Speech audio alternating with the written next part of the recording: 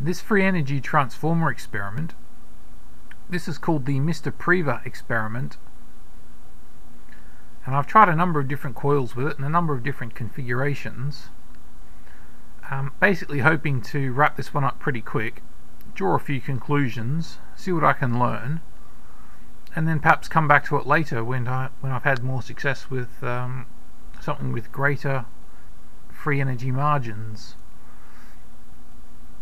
um, so basically what I've determined is, and I'm not even entirely sure if this is accurate or not, but because you've got two oscillating sine waves that are completely out of phase,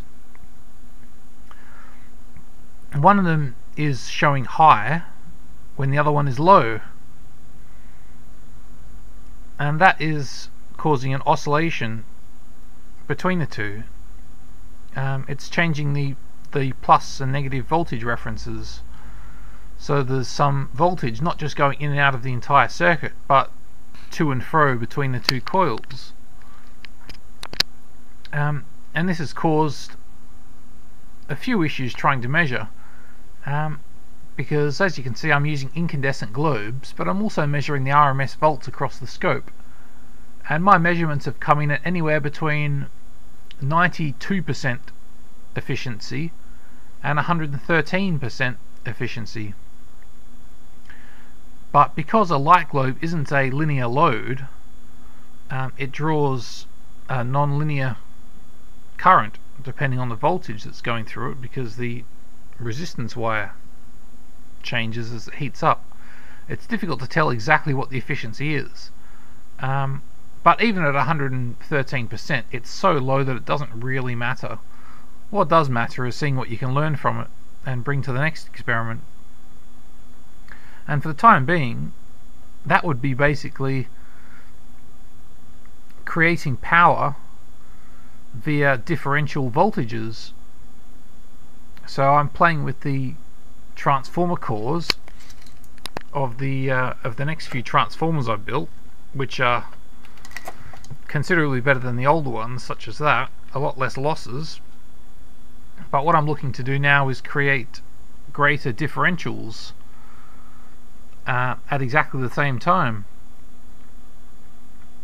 And this seems to be yielding advantages. Um, I've already measured really good results. Um, but yeah, I'm not jumping up and down yet. Um, I probably was a few weeks ago, but hopefully I'll be jumping high next week. So, come back, stay with the journey. This is only video 36. I gave myself 365 videos to get something that was really impressive. Uh, something I can really dine out on. But for the time being, I'm dining in and pulling some late nights, and we'll see just what that yields. So, I hope yours is going well too. See you next time.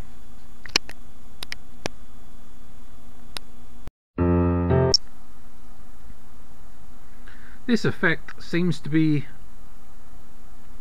or rather it seems to have very little to do with Lenz's law. That is ultimately one of the things I thought I'd be looking for in a transformer. A transformer with nothing to do with Lenz's law. And I suspect this does qualify. Um, the limitation, however, is found in a completely different place. It's due entirely to the inductance and the reluctance of the core um, you simply just can't push much power through it. Um, when you when it's in the uh, the right frequency to resonate and to have these opposing resonant oscillations, which only which doesn't happen right throughout the frequency range. Um, the peak for this transformer seems to be about three four hundred hertz. Um, it does operate outside that frequency, but the higher the frequency gets, the less current you can push through it. And once you get much lower than that frequency, um, the current and the voltage shift back into phase. Or rather, the two coils shift back into phase. Um, so, there is definitely an effect here. I'm convinced of that. This is important. um, but it, it also has observable limitations. Um, so I'm not to be confused by that. Um, but overall, I'm satisfied that there is something here, something to learn from, and I will come back to it later to see what can be applied to it. Uh, but for the time being, I'm happy to pursue my next transformer, which will be iron. Um, I've already got the circuitry made, so it should be a fairly easy transition, and I've already seen efficiencies far beyond what should be expected from an iron transformer, um, i.e. about 90% from a poorly built one. So I'm fully expecting somewhere between 1 and 200% from the next endeavour. Mm. I'll try and slide that into the title so we don't have to watch too many um, videos without drastic conclusions. But that's the plan. So yeah, come back and join me for it. Thank you.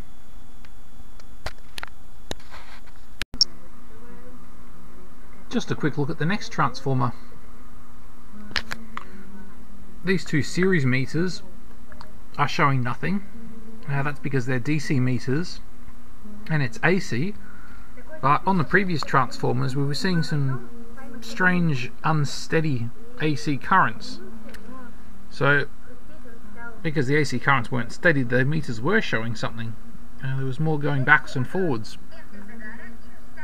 Um, but yeah, the overall into the system currently is about 250 milliamps. Um, and the voltage input explains the brightness of both globes.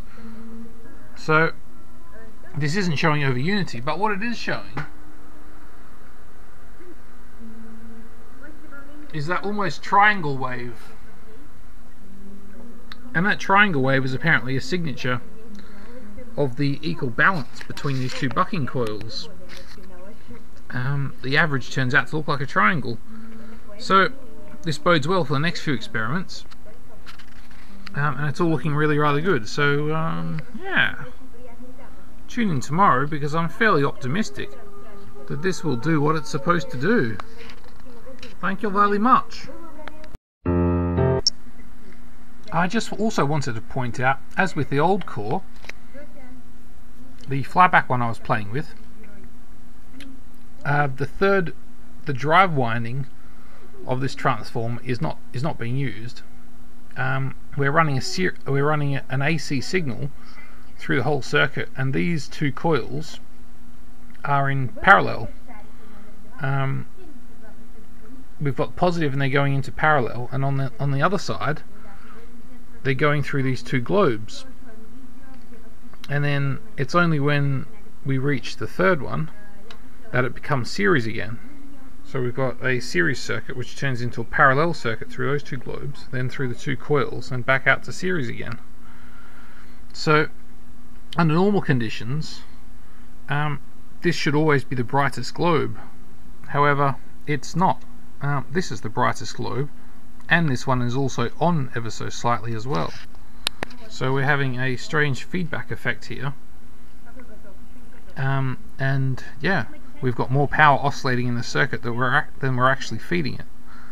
Um, but as before though um, then you calculate the transformer losses and it does bring the efficiency below 100% but it has all the hallmarks for a circuit that will work once we start pulsing it um, through this primary. Uh, the idea is, of course, to throw Lenz's law out by pulsing uh, DC square waves through the primary and then only switching the, um, the, the output coils on during the relaxation period of the core. So it's a, a, very sharp pulse from the primary, very quick sharp pulse, um, so we don't waste any energy. And then as the core slowly relaxes then we sharply turn those two on. And that is apparently what I've been told does the trick not enough people replicating this in my view um, but they have been kind enough to give me some tips and write several hundred pages of documentation which I have all read along with of course about 10 hours of video so I'm pretty confident that I'll get it whether it's tomorrow or not remains unclear because um, it might well be tonight. So come back and find out.